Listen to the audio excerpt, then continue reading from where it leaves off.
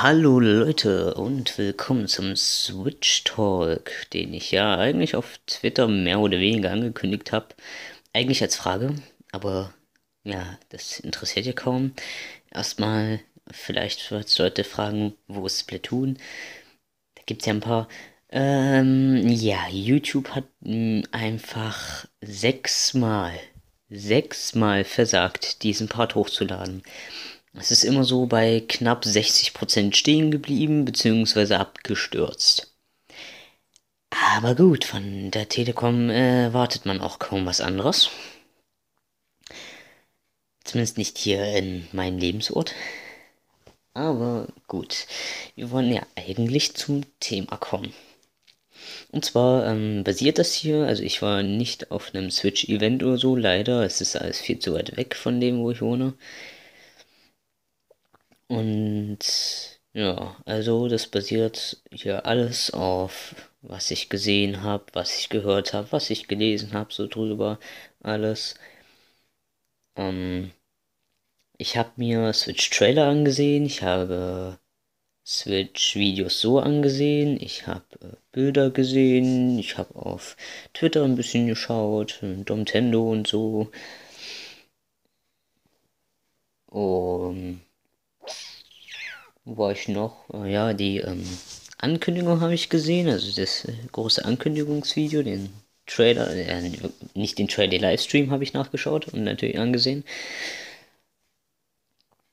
Und äh, ja, also ähm, ich muss schon sagen, Nintendos Konzept über ähm, ist irgendwie sogar noch krasser, als ich es mir vorgestellt habe.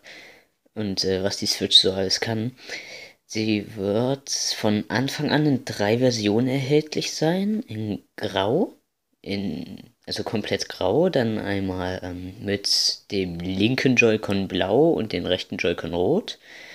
Und dann einmal in einer Zelda Breath of the Wild Version.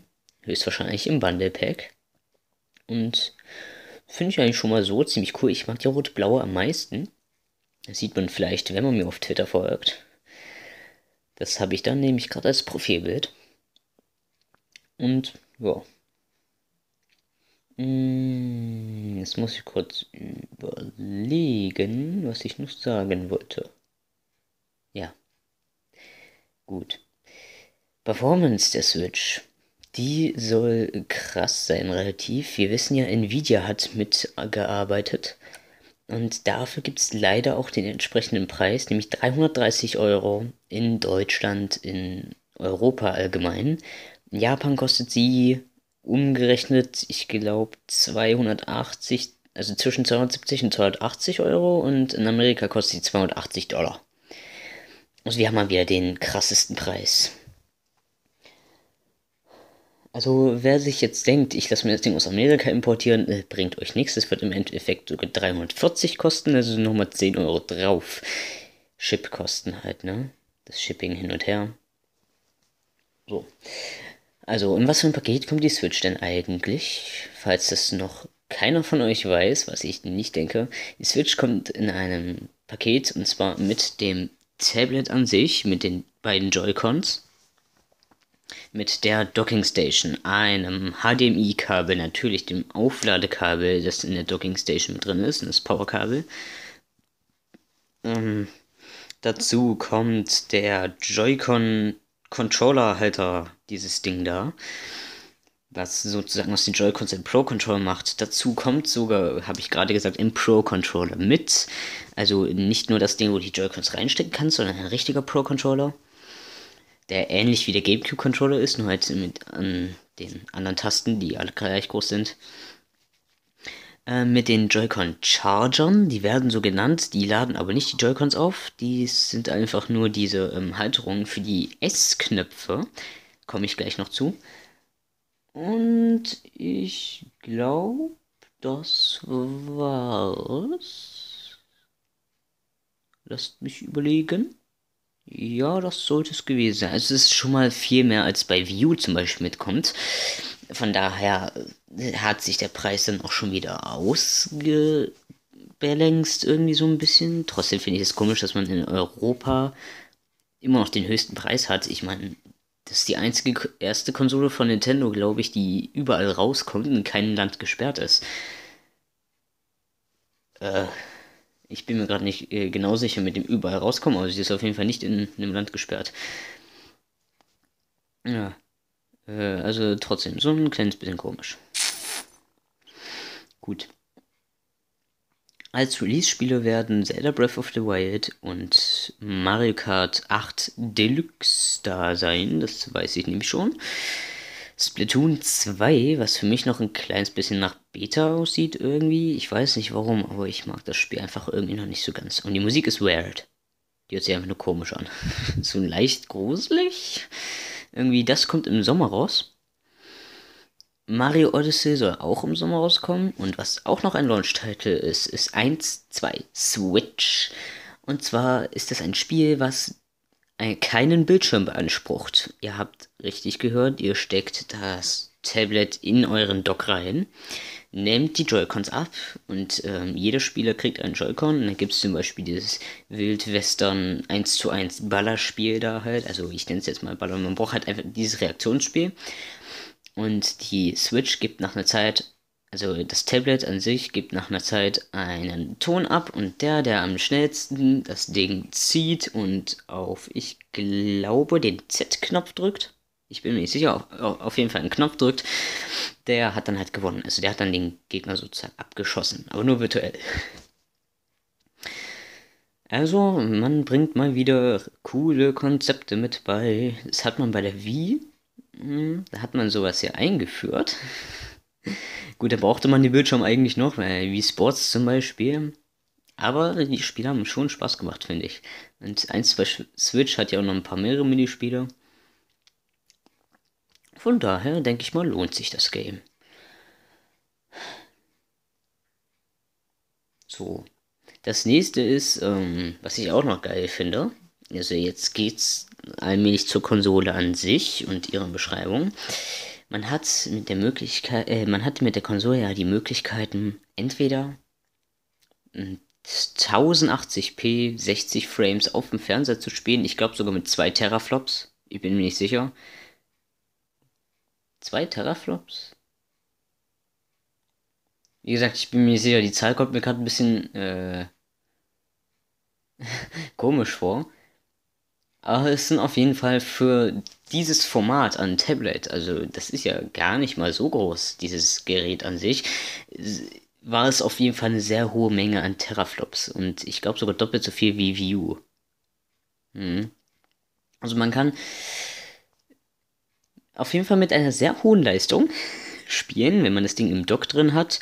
Oder man kann die Joy-Cons reinstecken und das Teil sich mitnehmen als Handheld und dann immer noch auf einem 720p 60 Frames Bildschirm auch noch mit einer relativ guten Performance schauen. Um, ähm, und der Akku hält eigentlich, naja, hm, ich würde mal sagen sogar zu kurz. Also der ist ein bisschen sehr klein. Und zwar hält er je nach Spiel 2,5 bis 6 Stunden. Im Falle von Zelda Breath of the Wild, wenn ihr das jetzt unterwegs spielen wolltet, ihr hättet 3 Stunden Zeit, bis, ihr, bis die Switch sich selbst abschalten würde, weil sie keinen Strom mehr hat.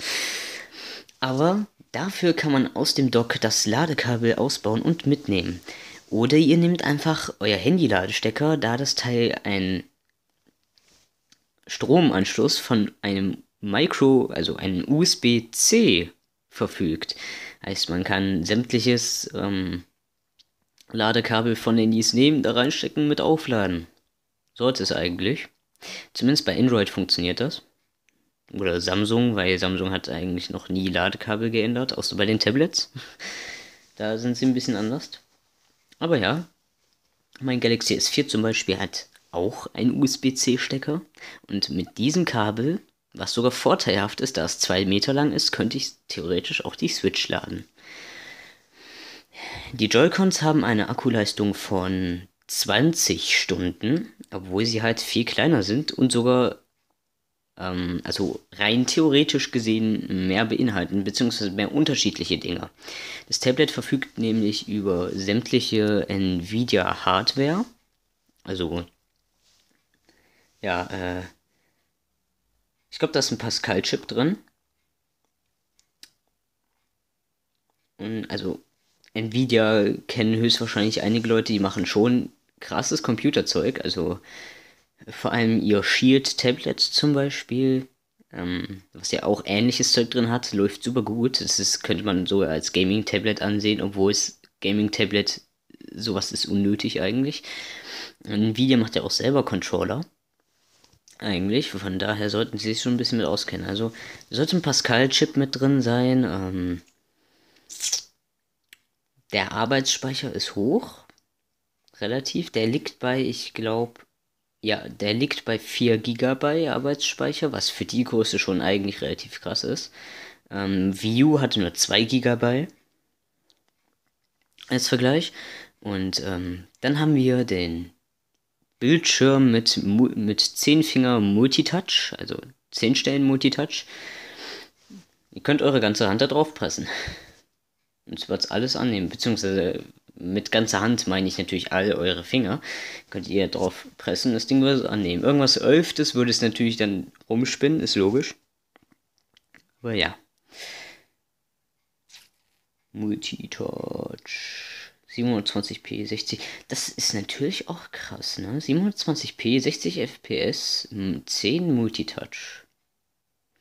Für die Größe? Mhm, das hat was. Auf jeden Fall.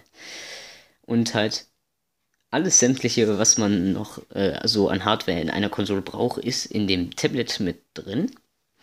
Und ähm, die Joy-Cons sind eigentlich relativ witzig. Wie gesagt, die sind ja um einiges kleiner also zumindest von der Breite her, ich, ich glaube, die fast nur ein Viertel des Bildschirms, ein Viertel, ein Fünftel, einer davon. Und ähm, was die so alles drin haben, das sage ich euch jetzt so. Und zwar gäbe es da einmal die vier Knöpfe A, B, X, Y, beziehungsweise die Pfeiltasten auf dem linken. Dann den, also beide verfügen über einen Stick, der ich glaube sogar wieder einpressbar ist. Sollte er eigentlich, also wie bei U oder PlayZ Controller haben das ja auch. Da kann man auch die ähm, Sticks reindrücken. Dann verfügt das Teil über einen Home-Button auf der rechten Seite, beziehungsweise einen Record-Button oder Screenshot-Button auf dem linken Joy-Con. Beide Joy-Cons haben R und also haben die normale Schultertaste und die Z-Schultertaste, heißt R, Z, R, Z, L und das normale L. Und was haben wir noch so dabei? Genau, wir haben Gyrosensoren da drin. Dann haben wir 3D Rumble. Das ist sehr interessant und eigentlich auch neu in einer Konsole, beziehungsweise Nintendo-Konsole. 3D, 3D Rumble hatten wir noch nie irgendwo. Wir haben einen 3D-Objektsensor. Der, das finde ich krass, weil das ist wirklich neu in der, äh, das ist das aller, allerneueste in der Switch. Ein, der 3D-Objektsensor, der weiß zum Beispiel exakt, wie ihr eure Hand formen würdet, wenn ihr jetzt zum Beispiel Schere, Stein, Papier spielt. Würdet ihr eure Hand zur Faust machen, erkennt das Ding, das komplett. Also es kann sozusagen um eure Hand drumherum gucken. Irgendwie sowas. Wir haben natürlich auch wieder den Standard-Infrarotsensor drin, den wir seit der Wii haben.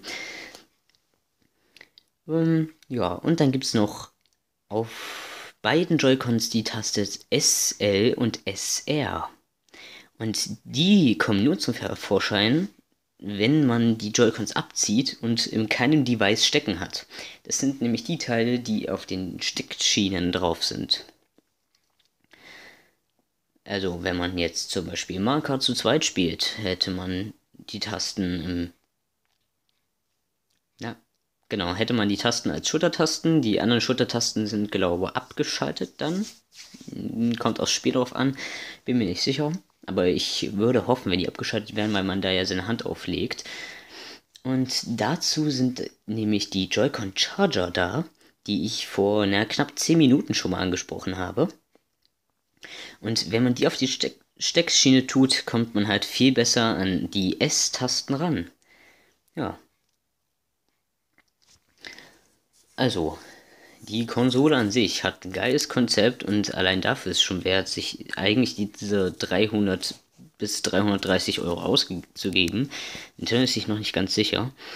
Aber was mich leider so ein ganz kleines bisschen kümmert, ist, dass Nintendo einen großen und von vielen Leuten Meinungs nach falschen Schli Schritt begeht. Es geht darum, dass sie in den, ähm, naja, nicht mehr kostenfreien Online-Modus-Pool reinspringen, sage ich jetzt mal, ja, man kann nicht mehr online spielen. Danach, also wenn man sich eine holt, hat man, äh, wenn man sich eine Switch holt, hat man glaube ich einen Monat frei. Und danach muss man für den Online-Modus bezahlen. Preis steht noch nicht ganz fest. Ich habe ähm, Gerüchte gehört, dass der bei 9 Euro pro Monat liegt. Ich persönlich würde sagen, ich würde lieber pro Jahr zahlen. Und dann würde ich so in der zwischen 12 und 20 Euro ausgeben. So, äh, wie komme ich auf die Zahl 12? Naja, 1 Euro pro Monat, aber es hört sich ein bisschen wenig an. Gut für die Leute, die alle auf die Switch gehypt sind. das ist, mh, mm, naja, so wie ich es mir vorstellen kann, fast die ganze Welt. Beziehungsweise die das Geld dafür haben, natürlich. Leider. Gibt es ja auch Leute, die nicht das Geld dafür haben, beziehungsweise das liegt ja nicht an der Konsole, es liegt an dem Zustand der Länder und so und deren Ortschaften. Aber ja, also äh, es ist ein bisschen wenig, hört sich das an, 1 Euro pro Monat, aber wie gesagt, bei der Menge kann das schon was viel werden. Und wie komme ich auf die 20? Naja, da bin ich mir selber nicht, nicht sicher. Vielleicht sage ich auch 24, das wären jetzt 2 Euro pro Monat. Wow. Ich kann Mathe, oh mein Gott. Ja, aber ähm, man kennt ja Nintendo eigentlich für super Spiele und einem unbezahlten Online-Modus, also einen kostenfreien Online-Modus. Und dass Nintendo jetzt diesen Schritt geht, das kümmert mich leider so ein bisschen. Das verhaut für mich die, die Switch eigentlich auch schon. Weil ich mir sicher bin, dass na, meine Eltern das Geld nicht zahlen würden. Hm. Ah. Aber eigentlich kann ich ähm, ganz im Allgemeinen sagen, die Konsole kann ich auf jeden Fall empfehlen, wenn sie rauskommt am 3.3. Holt sie euch, mir scheißegal, was für ein Fanboy seid, ihr holt sie, ihr, ihr holt sie euch, sonst, keine Ahnung, gibt's keine Kekse für euch. Kriegen nur die anderen Kekse, die sich eine holen. Und, äh, also ich kann sie eigentlich nur, ich bin sehr gehypt auf das Teil denke, kann sie auf das, was ich gehört habe, jetzt nur noch empfehlen. Und wir sehen uns auf jeden Fall beim nächsten Video wieder, sonst kann ich das nämlich auch nicht mehr hochladen. Ciao, ciao.